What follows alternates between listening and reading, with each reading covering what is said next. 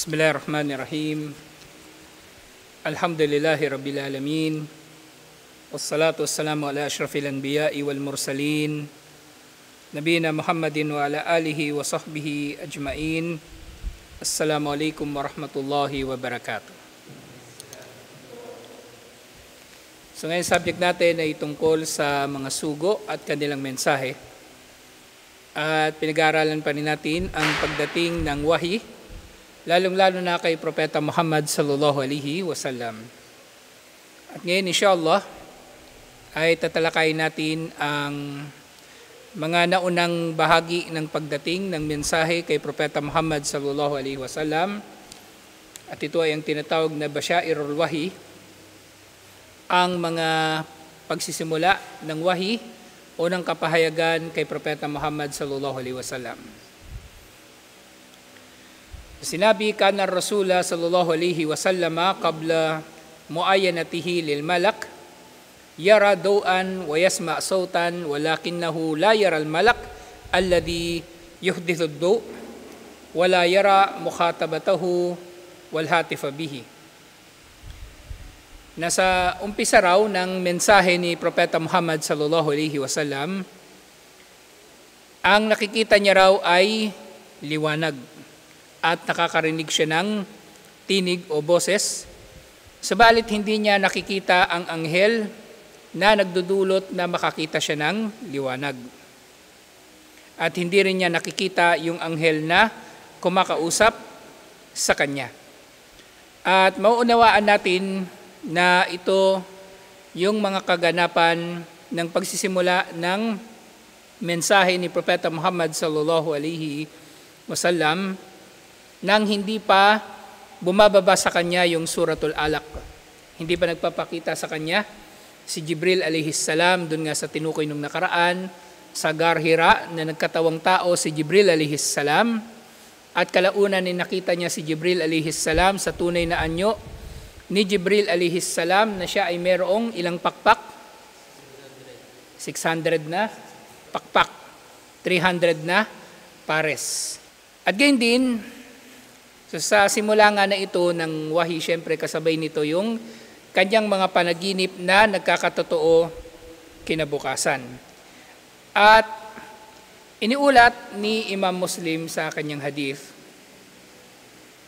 na makatha Rasulullah sallallahu alaihi wasallam bimakkata kamsa asyarata sana yasma'us saut wa yaraddu sab'a sinin wala yara shay'an thaman sinin yuha ilayhi wa aqama bil madinati asyaran at ito ay hadith na iniulat ni Ibn Abbas doon nga sa koleksyon ng mga hadith ni Imam Muslim nananatili raw si Propeta Muhammad sallallahu alaihi wasallam sa Makkah ng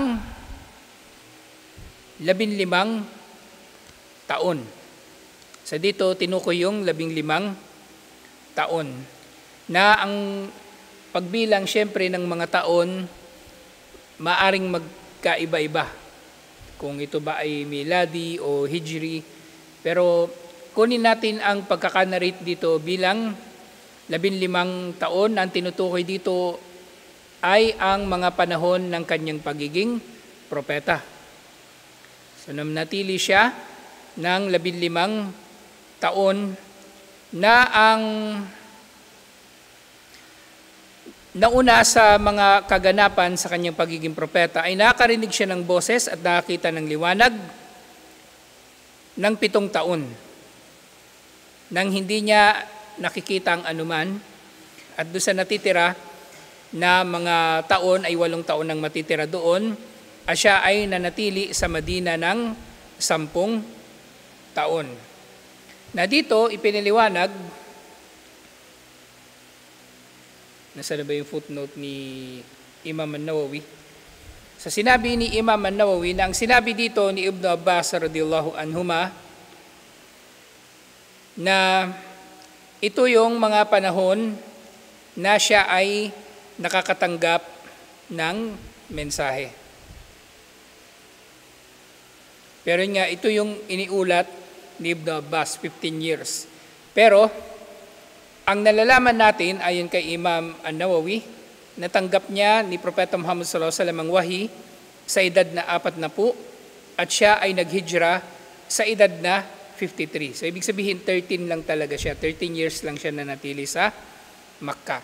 Pero ang bilang dito ni Ibn Abbas ay 15 na taon. Pero siyempre, sa pag-uulat ng mga hadith, kung ano yung naiulat, ay itinatalayaon sa ganoong pagkakaulat. Na sabihin natin na yun ang pagkakabilang ni Ibn Abbas sa pananatili ni Propeta Muhammad sallallahu alaihi wasallam sa Makkah. So dito nga, pinaliwanag din ni Imam An-Nawawi, yasma'u sawt wa yaraddu. Qala al-Qadi, sinabi ni Imam An-Nawawi na sinabi ni Al-Qadi, na tinutukoy niya dito ay si Qadi Iyad, na isang uh, mus, isang scholar na nauna kay Imam An-Nawawi, sinabi niya, ang narinig niya na ito ay sautul hatif minal malaika wa yarad du'a ay nurul malaika wa nuru ayatillahi hatta ra'al malak bi'ainihi wa syafahahu biwahyillah. So dito sa mga taon na ito na sinabi ni Ibn Abbas na naririnig lamang niya ang boses at ang nakikita lamang niya ay liwanag. Ang boses na tinutukoy dito ay ang boses ng anghel at ang nakikita niya ay liwanag o liwanag ng mga anghel at ang liwanag ng mga palatandaan ni Allah subhanahu wa ta'ala hanggang sa dumating yung mga panahon na makita niya ang anghel sa kanyang sariling mga mata o sa kanyang paningin. At ang anghel ay nagpapahayag sa kanya ng ipinahayag ni Allah subhanahu wa ta'ala. So sabi dito na sa mga naunang pagkakataon ay nakita niya o narinig niya ang anghel, ang boses nito, pero hindi ito nagpakita sa kanya. Liwanag lang ang nakikita niya. Ang ibig sabihin nito, bakit hindi tinukoy dito yung nakita niya si Jibril alayhis salam sa unang bahagi ng kanyang pagiging propeta sa tunay na anyo at laki ni Jibril alihis salam. Dahil nung nakita niya si Jibril alihis salam sa anyo na yun, wala namang ipinahayag. Kumbaga, ang pagpapahayag o ang pagdating ng anghel kay Propeta Muhammad sallallahu alaihi wasallam ay sa ganitong ganitong ay tsura sa o paraan sa liwanag lang at sa tinig ng anghel. Ngayon, bakit wala rin dito yung nakita ni Propeta Muhammad sallallahu alaihi wasallam si Jibril alaihi salam doon sa Garhira. So doon sa Garhira, maaring si Jibril alaihi salam ay nagpakita nga kay Propeta Muhammad sallallahu alaihi wasallam sa anyo na kumakausap sa kanya na ayon nga dito sa libro ni Sheikh Omar al-Ashkar sa anyo ng tao. Pero hindi tao na malinaw. Kumbaga, maaring liwanag lamang din ang nakikita niya at hindi niya nakita ang tunay na itsura ni Jibril alayhis salam. So ito yung dahilan kung bakit ang tinukoy dito na puro liwanag lang ang nakita niya at naririnig lang niya ang boses ng anghel kapag ito ay nagpapahayag sa kanya. So siyempre, katulad nga ng tinukoy natin nung nakaraan, sa paanong paraan dumarating ang wahi kay Propeta Muhammad sallallahu alaihi wasallam sa pamagitan ng panaginip.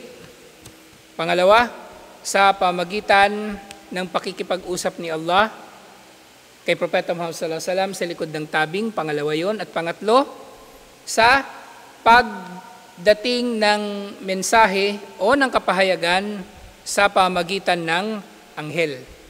Sa tatlong paraan.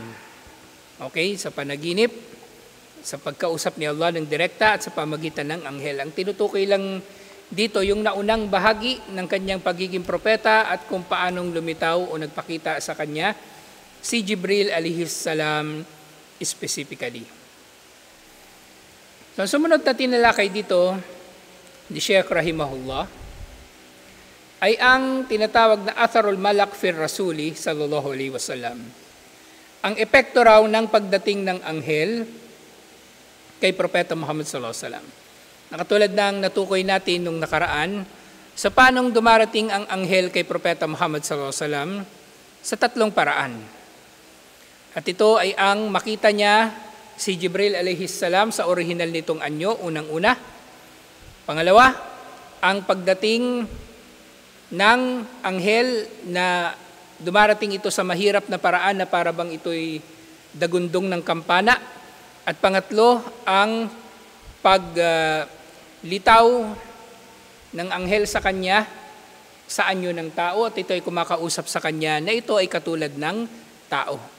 So doon sa Garhira, maaring tinukoy ni Sheikh Omar al-Ashkar na si Jibril alayhis salam ay naganyong tao doon sa Garhira dahil ang anyo ni Anghel Jibril alayhis salam doon sa kuweba ng Hira ay nakikipag-usap kay Propeta Muhammad sallallahu alaihi wasallam ng direkta. Nakikipag-usap ng direkta kay Propeta Muhammad sallallahu alaihi wasallam. Kasi doon sa Gar Hira, doon sa kuweba ng Hira, nang lumitaw doon si Jibril alayhis salam, at ito ay kailan nangyari? Anong buwan ito nangyari? Yung, yung pagbaba ng surat al-alaq kay Propeta Muhammad sallallahu alaihi wasallam nang nakita niya si Jibril alayhi salam sa kuweba. Anong buwan? Ramadan. Anong araw ng Ramadan? O anong gabi? Laylatul Qadar. Nangyari ito sa Laylatul Qadar.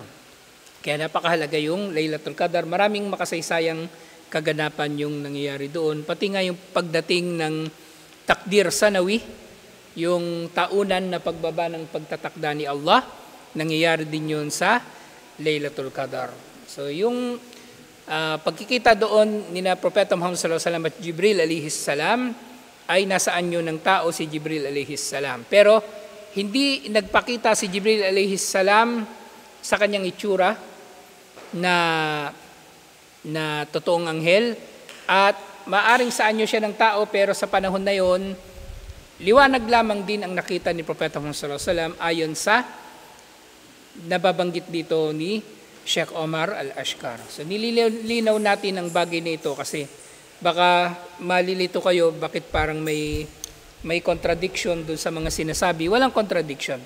Kumbaga, ito ay mga karagdagan lang na paglilinaw sa mga kaganapan sa buhay ni Propeta Muhammad wasallam sa unang pagdating ng mensahe sa kanya.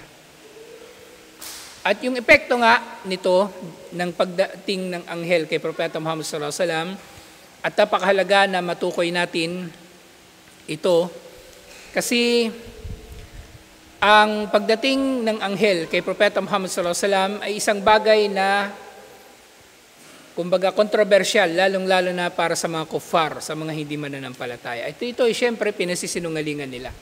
Kaya nga sila kuffar, kaya nga sila nagpapasinungaling sa mensahe ni Propeta Muhammad sallallahu alaihi wasallam, ibig sabihin, pasisinungalingan din nila ang lahat ng nilalaman ng kanyang mensahe, pati ang pagdating ng anghel sa kanya.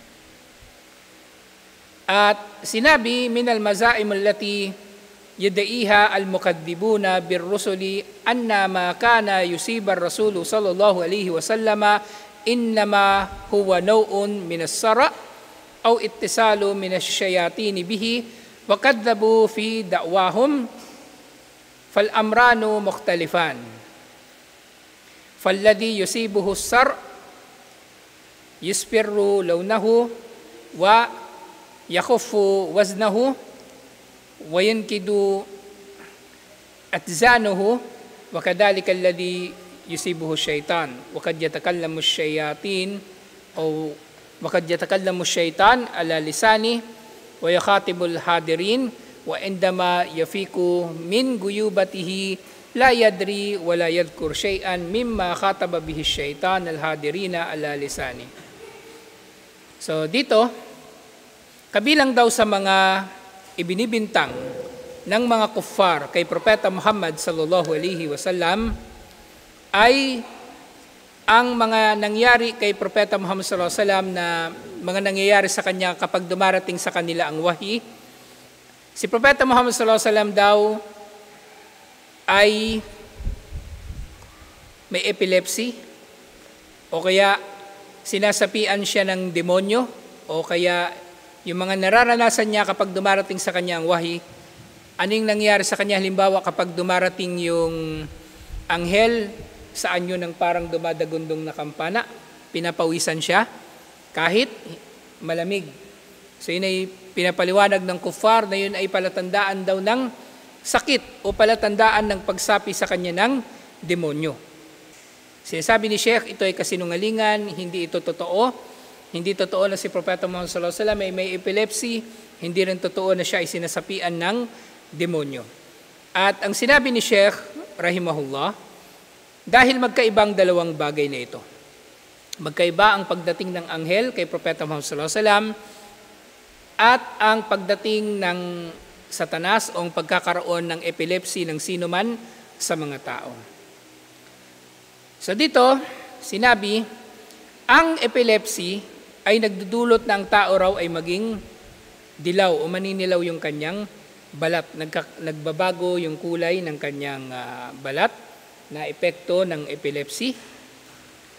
At maaring mangyari din na yung tao na may epilepsy ay mawawalan siya ng balanse at uh, yung kanyang pag, pagtimbang sa kanyang katawan ay naapektuhan kaya siya natutumba. At ang tao naman na sinasapian ng satanas, ang satanas ay maaring magsasalita sa pamagitan ng bibig ng tao na ito na kanyang sinapian. At kakausapin nito ang mga tao na nasa paligid niya. Di ba, nakapanood na ba kayo ng video ng tao na sinapian? So, di ba, kinakausap nung demonyo na sumapi, wala na tayong pakialam kung drama man yun o scripted yun. Basta nang, nangyayari at totoong nangyari na itala sa kasaysayan na yung mga sinasapian, nakikipag-usap yung demonyo sa pamagitan ng kanilang sinapian. So, halimbawa si Siopaw sinapian, So kakausapin niya yung mga tao sa paligid niya. Ah, sabihin niya, pangit ka, ikaw mataba, ikaw ganito, ganyan. Sasabihin niya yun. Kasi yun yung gustong sabihin ng satanas doon sa mga tao sa paligid niya. Minsan kinakausap pa nga niya yung albularyo, di ba? Kinakausap pa niya yung albularyo o yung pare o yung sino mang nagtatangka na gamutin siya o kausapin siya. So, yung tao na sinapian ng satanas ay magkikipag-usap sa mga tao o magsasalita sa pamagitan ng bibig nung kanyang sinapian. Pero kapag nawala na yung sumapi doon sa tao na kanyang sinapian, yung tao na sinapian hindi niya maaalala yung mga nangyari. Hindi niya maaalala yung mga nangyari, yung sinabi niya o yung kanyang ginawa habang siya ay sinasapian ng demonyo. Ngayon si Propeta Muhammad sallallahu alaihi wasallam, amma Rasulu sallallahu alaihi wasallam, fa inna ittisal al malak fa inna ittisal al malaki bihi nimaun fi jasadi. Si Propeta Muhammad sallallahu alaihi wasallam ang pag uh, pakikipag-ugnayan ng anghel sa kanya ay nagdudulot na ang kanyang katawan ay magbago, pero hindi katulad nung pagbabago sa katawan ng may epilepsy o kaya yung sinapian ng demonyo. Ano ba yung nangyari sa mga sinasapian ng demonyo? Di ba nagkakabalibaligtad yung katawan, yung bumabaliktad yung leeg, ano pa, lumulutang, pumapangit, may lumalabas na mga sugat-sugat, hindi naman ganon si Propeta Muhammad sallallahu alaihi wasallam. At yung may epilepsy, hindi naman nangisay si Propeta Muhammad sallallahu alaihi wasallam. Hindi naman siya nanginig yung kanyang katawan. Ang nangyari pa nga, bumibigat yung kanyang katawan, katulad nung naiulat na si Zaid bin Thabit, nakapatong sa kanya yung hita ni Propeta Muhammad sallallahu alaihi wasallam at naramdaman niya na bumibigat ito na natakot siya na baka mabalian siya ng buto. So, malayong malayo yung nangyari kay Propeta Muhammad sallallahu alaihi wasallam doon sa may epilepsy at doon sa sinapian ng demonyo. Bagkos ang nangyayari nga ay uh, bumibigat yung kanyang katawan, oo, pinapawisan siya, pero walang masamang dulot ito sa kanyang katawan.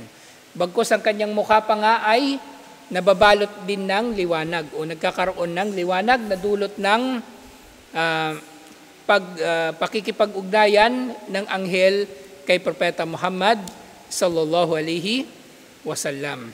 So yun nga, ni Maon fi jasadi, may nangyayaring pagbabago sa kanyang katawan, bumibigat siya, wa ishraku fi wajhi, pagliwanag ng kanyang muka, thumma innal jalisina la yasmauna kalaman. At ang mga tao na nasa paligid ni Propeta Muhammad sallallahu alaihi wasallam na nakakasaksi na dumarating sa kanya ang anghel na may dalang kapahayagan, hindi naman nila naririnig o hindi sila nakakarinig ng anumang salita mula kay Propeta Muhammad sallallahu alaihi wasallam na katulad nung nangyayari dun sa isang sinapian. Diba? Nakita na ba kayo ng personal ng, ng tao na sinapian? Nakita na kayo? Ikaw nakita ka na. 'Di ba? Makikipag-usap talaga yung yung sumapi sa kanya na demonyo. Makikipag-usap talaga kasi yun yung paraan na mas matatakot niya yung mas maraming tao. Kasi kung yung sasapian niya, ganyan, sasapian niya, tapos yung sinapian niya, nagkukulong lang sa kwarto, walang saysay yung pagsapi niya. Ang layunin ng demonyo, kung bakit siya sumasapi sa tao, ay para maghasik ng takot sa tao. At para buyuin yung mga tao na gumawa ng iba pang shirk ng pagtatambal kay Allah subhanahu wa ta'ala. Bakit ano ba pinanggagamot ng, ng albularyo o ng pari doon sa sinapian? Shirk din, di ba? Dinadasalan siya in Jesus name. Uh, ba, ano ba yun? Sasabuyan ng holy water. Tapos tatapatan ng krus. Tapos babasahan ng ano ng Ave Maria.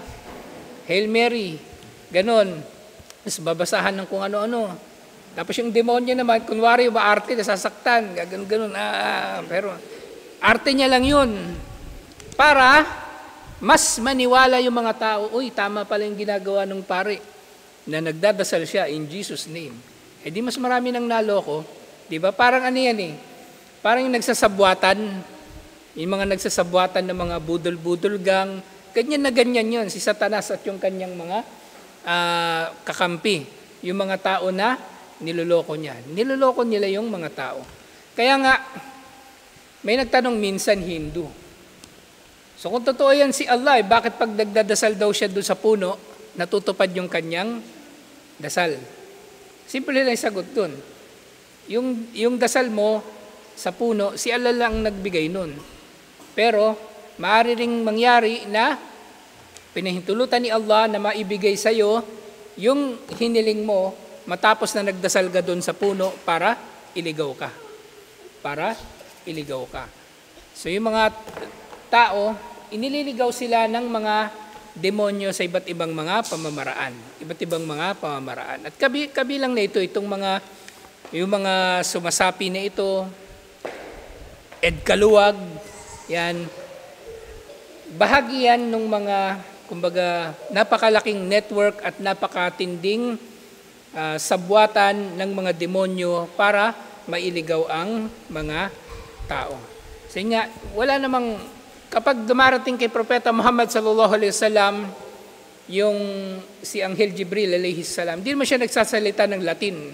Pero yung, yung demonyo, yung sumasapi, nagsasalita ng Latin, nagsasalita ng German, nagsasalita ng uh, kung ano-ano, na hindi naman salita nung tao na sinapian. Hindi naman salita nung tao na sinapian. Kaya ito'y isang patunay nga rin na katulad ng tinatalakay natin kapag subject natin yung tungkol sa mga jin, mahaba ang buhay ng mga jin, mahaba ang buhay ng mga engkanto. Na dahil dito, meron silang panahon na matutunan ang napakaraming iba't ibang mga wika, makilala yung iba't ibang mga tao sa kasaysayan, at magkaroon sila ng mahabang kasaysayan o experience ng paggawa ng kalokohan at pagliligaw sa mga tao. Kaya maari nga yung mga sumasapi na mga jin sa mga tao ay ma- matanda na talaga sila. Maaring yung iba sa kanila ay nabuhay pa nung panahon ng mga dinosaur. Kung, kung totoo man yung, ano, yung, yung dinosaur nga. Kasi sinasabi natin kung totoo man yung dinosaur, kasi tinutukoy natin dito, yung mga dinosaur na nakikita nating dinodrawing sa mga sa mga libro, sa encyclopedia, nakikita natin sa Dinosaur Museum o nakikita natin sa mga pelikula. Actually, yung mga archaeologists, mga paleontologists at iba pang mga nag-aaral tungkol sa kanila, nakapulot lang sila ng isang ulo, isang isang piraso ng buto sa buntot o kaya isang isang piraso ng buto sa paa. Inipon nila yon, tapos inimagine na nila na ganito pala ang itsura ng dinosaur. So parang nakapulot sila ng kalansay ng tao, isang kamay, isang tuhod, tapos yung ulo. At inisip na nila kung anong itsura ng tao.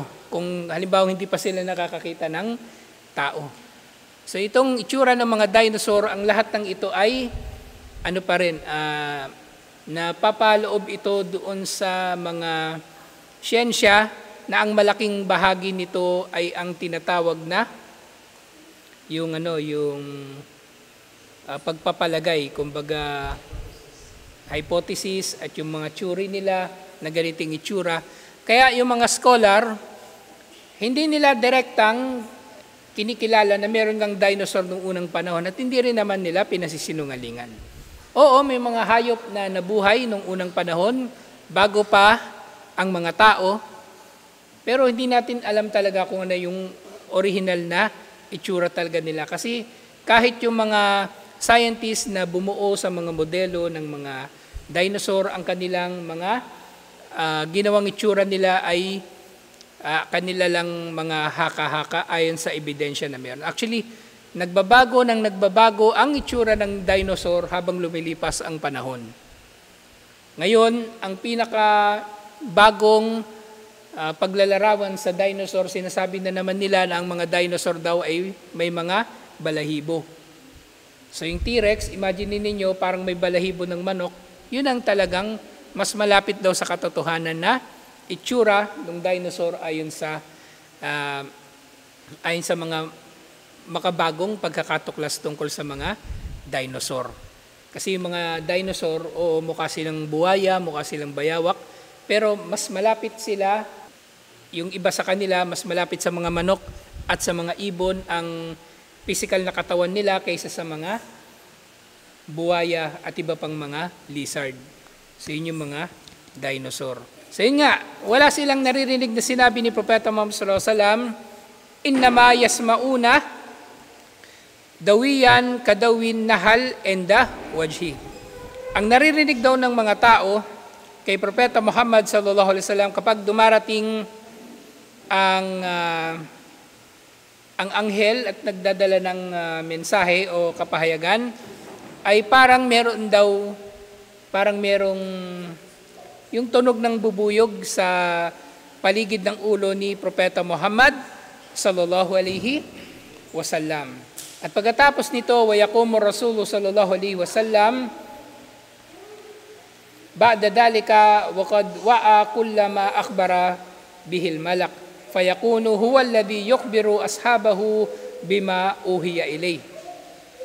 Pagkatapos ng pagdating ng mensahe, na dinala ng anghel, tatayo na si Propeta Muhammad sallallahu alaihi wasallam at naalala niya ang lahat ng sinabi sa kanya ng anghel at siya na mismo ang magsasabi sa kanyang mga kasama kung anong ipinahayag sa kanya. So malayong malayo dun sa tao na sinapian na hindi na niya maaalala kung ano yung nangyari habang siya ay sinasapian ng demonyo.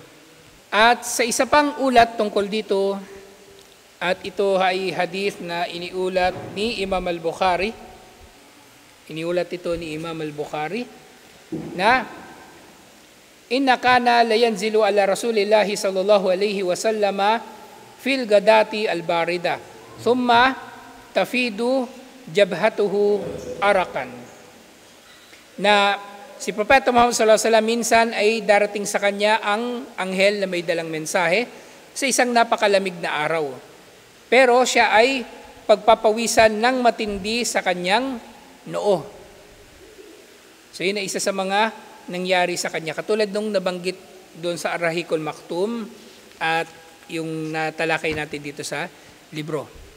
At gayon din sa isa pang ulat, Wakbarat na anna nakatahu endama kana yuhi ilayhi wa huwa fawqaha wa huwa fawqaha yadribu hazamiha wa takadu tabruku bihi min thakalihi fawqaha. Fawqaha. So, minsan din nangyari na nakatanggap ng revelasyon mula sa anghel si Propeta Muhammad sallallahu alaihi wasallam habang siya ay nakasakay sa kanyang camel. At ang camel ay halos lumubog ang paa nito sa sa buhangin o kay halos mapaluhod ito dahil sa bigat ni Propeta Muhammad sallallahu alaihi wasallam. So nabanggit din ito doon sa Arahikul Maktum. At gayon din, ويذكر أحد الصحابة أن فقده كانت تحت فقد النبي صلى الله عليه وسلم فأنزل إليه فكادت فقد النبي صلى الله عليه وسلم حين الإنزال إليه ترد فقد الصحابي So minsan daw yung hita ng isang sahaba at sino yung sahaba na itinutukoy dito? Si Zaid bin Thabit. Siya yung inutusan na kolektahin ng Quran nung panahon ni Abu Bakar Siddiq radiyallahu anhu. So nasa ilalim daw ng hita niya o nasa ibabaw ng hita niya ang hita ni Propeta Muhammad sallallahu wasallam at naramdaman niya ang pagbigat nito at halos matakot na siya na baka mabalian siya ng buto. At itong mga ito nga ay nangyari doon sa pagbaba ng anghel. Ah, meron pa palang isa.